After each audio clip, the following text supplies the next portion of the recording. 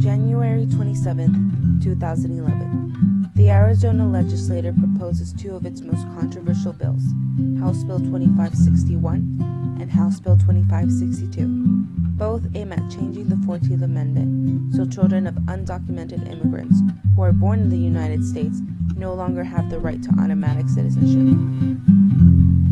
As I stare at the screen reading the news article covering this, I hear so many voices and sides of the argument, but the one side I do not hear is that of the children themselves. One of the central challenges faced, or the central challenge faced by children of undocumented immigrants today, is the uncertainty they have to deal with on a daily basis. There is the uncertainty of what their parents' future holds, whether they will ever be able to gain citizenship, whether they will be deported.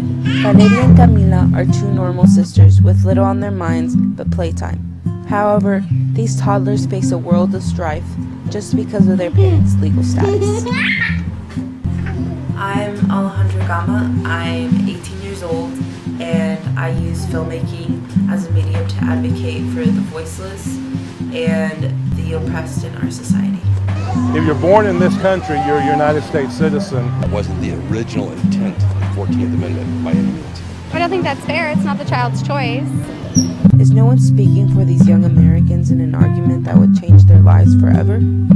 I hope that when people watch my documentary, um, they come to learn or accept that there is always another side, um, another perspective that may be unseen, and that with with that we can work to find what is truth and we can find justice as a country.